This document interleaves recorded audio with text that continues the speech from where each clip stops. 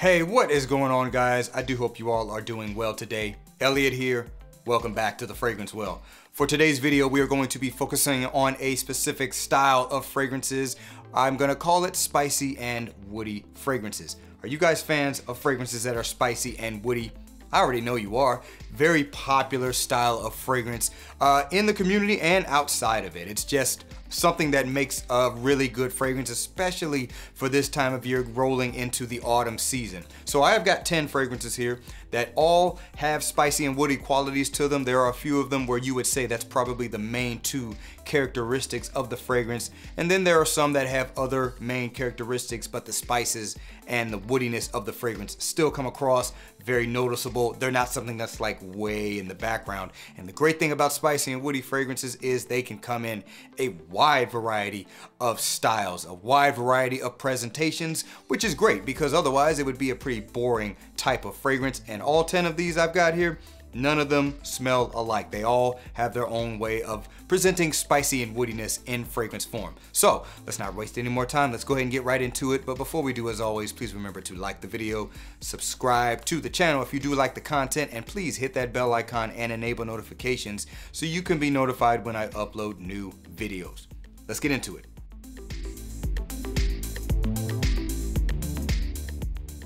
All right, the first one is gonna be coming from Gisada. This is going to be Ambassador Intense. Gisada, Ambassador Intense. Now this one here, I would definitely classify as spicy and woody first and foremost. You do have some other elements to the scent, but spicy and woody first. Spice profile.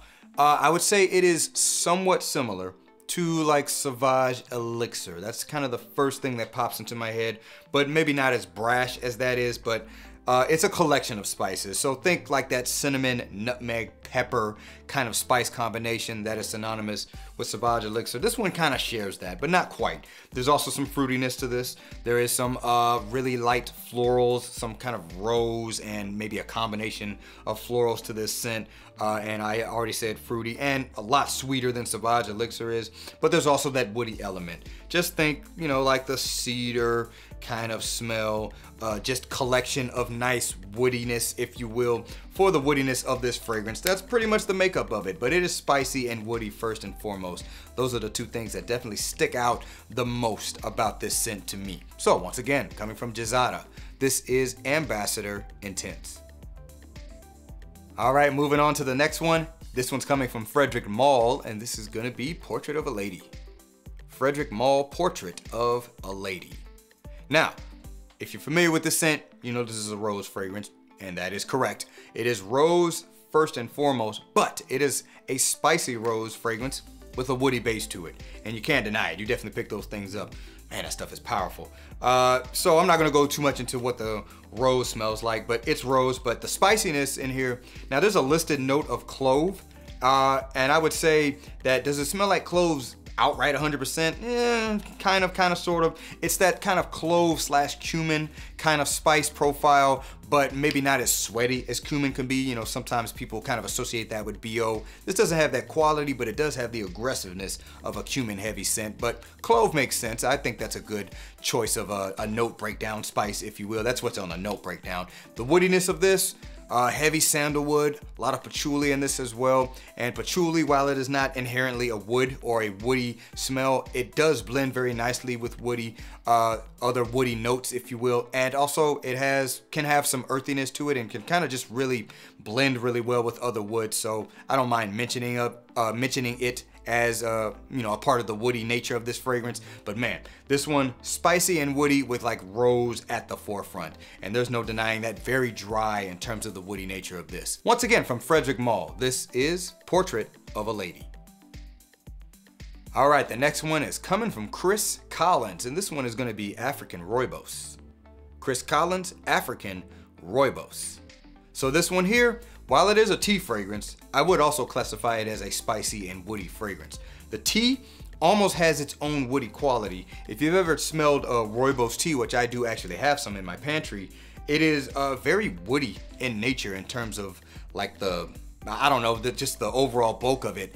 And also it has kind of this slight fruity characteristic to it, but I'm just talking about how the leaves smell. I'm not saying that's how it tastes, uh, but it does have a very woody quality to it, a very dry woody quality. And this one definitely, you could say it's got like a cedar wood woody quality to it and uh, quite a bit of a spicy quality to it as well. The spiciness of this, very peppery in nature. So think of a, it as a spicy tea fragrance with woody qualities to it. That's basically what this is. And you know, when you think tea fragrances, most are associated with springtime scents, summertime scents, bright, vibrant, refreshing, calming. This one here is definitely a little bit more smoky in nature, smoky and woody, and uh, kind of works really well for this time of year. There are tea fragrances that you would say are more autumn style fragrances, and this is certainly one of them, and I, it's one of the best ones I've gotten my nose on so far. So once again, from Chris Collins, this one here is African Rooibos. All right, guys, the next one is coming from Roja Parfums. This is Danger. Roja Parfums, Danger, Parfum Pour Homme, and you know, there is a uh, Parfum Cologne. Uh, I believe that's what it's called of this as well, but I've got the Parfum. So this one here, uh, I, what I will say is the base of this fragrance is spicy and woody. Actually, you know what? You could classify it as a spicy and woody fragrance too, but definitely in a completely different way than the than the ones I've talked about so far. This one really opens up with lemony accords and has a pretty nice blast of like lavender in it. But there's just this kind of a chord of spices and woods that come together to just make the base and heart of this fragrance. If you look at the note breakdown of this fragrance, it's a Roja fragrance. You're gonna see like 50 notes listed, but this one really just kind of comes together to create a spicy woody accord that's just very unique. Uh, you can get clove-like qualities to it. You can certainly get like blonde woods, dried woods qualities, maybe a little bit of a smoky, heavier wood quality, other spices in here, but nothing really sticks out in terms of the spiciness and woodiness of this fragrance. It just has those qualities to it. Once again, coming from Roja Parfums, this is Danger Parfum Pour Homme. All right, guys, next one is coming from Lalique. This is Ombre Noire. Lalique Ombre Noire. Now, those who are familiar with this scent know what the spice profile is. It's pretty much cinnamon. Uh, I don't know if there's anything else listed in the note breakdown, but this one's very heavy on the cinnamon. There's also some cinnamon leaf, so a little bit more of a green edge to the cinnamon. Uh, with the spice profile of this, you can definitely think, uh, you know, particularly here in the States, think the holidays, think Christmas time, kind of carries that kind of uh, quality to it. Uh, as far as the woodiness goes, definitely kind of a dry woodiness, but also kind of like this orchard and like wine barrel or whiskey barrel kind of woody nature to it. And the fragrance overall, definitely spicy and woody with a pretty clear boozy quality to it. I've described this fragrance almost like having like an apple cider in a barn kind of smell, but instead of apple cider, it's whiskey. That's kind of how I like to describe this scent. So that spicy and woodiness kind of helps to make up that overall nature of this fragrance. Smells amazing, really great bang for the buck. Definitely a good holiday scent if you are into like fragrances that remind you of the holidays, but you can certainly use it for other things. Don't think I'm putting it into a box. Once again, from Lalique, this is Ombre Noire. All right, guys, the next one is coming from Acqua di Parma, and this is Quercia. Acqua di Parma Quercia. As you can see, this is the mega bottle. Funny story here, Jomashop had a sale a couple of weeks ago. They had this in this size and the 100 mil, but for whatever reason, this one was less than 100 bucks, while the 100 mil was like 130. I'm like, well, I guess I'm getting me a big jumbo bottle of this stuff. I really didn't want a bottle this big, but it is what it is. Now, Quercia literally translates to oak, as in oak wood. Now, does this fragrance smell like oak? I have no idea. I don't know what oak inherently smells like. I am more familiar with oak in terms of uh, its cooking properties and or its sound properties because oak wood is sometimes used in instruments including drums. As you guys know I play drums. I don't own any oak wood drums but I have played a few of them. They have a very particular sound to them. But in terms of the smell I have no idea what oak smells like by itself. So something I should look into. Uh, but that being said this fragrance is spicy and woody for sure. Does open with that kind of zingy, zesty uh, lemon that you can find in a lot of Acqua di Parma fragrances. Um, and also loads of cardamom in this, so that's part of the spice profile. Cardamom, there's also some petitgrain, and there's some pink pepper as well. So it has the spiciness, it's very smooth and inviting spiciness to it, and it just has woody properties to it. I think there's cedarwood listed as a note, there's patchouli for sure in this. It's kind of just got that dried, somewhat slightly smoky, woody smell to it. Again, I don't know what oak wood just on its own smells like, so I don't know if this fragrance is an accurate representation of oak, but you could just say it's a good imagining of it or an artistic form of it. Now, this is not an artsy fragrance. It's a spicy, woody fragrance that just has a different feel to it as some Acqua di Parma fragrances do. But this one I haven't heard talked about a lot, but I thoroughly enjoy this scent. I would say check this one out. This could be a sleeper from the house for some of you. So once again, from Acqua di Parma, this is Quercia. All right, guys, the next one is coming from Tom Ford. This is gonna be Tobacco Oud. Tom Ford Tobacco Oud. Now with this one here, it's a spicy woody fragrance, definitely. I don't think I would classify it as any other thing. Now there is a booziness to this, kind of a skankiness or a funkiness to it, and it's not like Barnyard, it's just kind of got this edge to the fragrance but uh, you definitely can pick up the spicy quality to this I would say it's just kind of a combination of spices or a spicy accord. Doesn't really come across as one thing to me. It's not something I can really pick out. It just somewhat slightly reminds me of the spice you might find in oud wood, but maybe with a little bit more of an edge to it. The woodiness of this, uh, you know, there's an oud wood like quality to it, but it's more of a just kind of a westernized, uh, exotic wood smell is what I would call it. And also this is a tobacco fragrance. Tobacco note is definitely present in here, kind of has a little bit of an ashiness to it, but I think they're using woods to kind of help accomplish that. So therefore, overall, this fragrance has a spicy and woody quality to it. Uh, and also this one's not gonna be for everybody. Please don't blind buy this one if you wanna get your nose on it. I imagine there are places you can get samples of this. You know, this used to be really, really hard to find. It's not as hard to find anymore. I see it on a number of places readily in stock. It just does cost a little bit even at a discounted rate. So that's probably why it doesn't sell out. But I would imagine you probably can get a sample of this. But really interesting, spicy, woody fragrance with a boozy quality and a little bit of a smoky tobacco smell. Once again, from Tom Ford, this is Tobacco Oud. All right, moving on. Next one is coming from Mind Games, and this is Scholar's Mate. Mind Games, Scholar's Mate. So this one here is, uh, let's just say this now, it is kind of a play on like a Santal 33 from Le Labo, but if I remember correctly, Santal 33 is does not really have a spice profile, while this one does. This one is very spicy, very smoky, uh, not really ashy, but very brash uh, compared to a Santal 33. Now, spice profile of this, listed note is pimento. Definitely has that kind of hot heat uh, but somewhat still fresh kind of spice profile to it. That's what I find pimento to kind of behave as in fragrance form.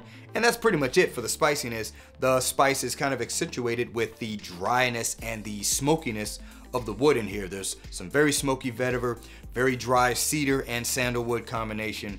Now there is some uh, a note of fig milk to kind of balance those two things out, but when you first get your nose on the scent, that's what you're gonna be hit with automatically. So definitely behaves like a spicy and woody fragrance.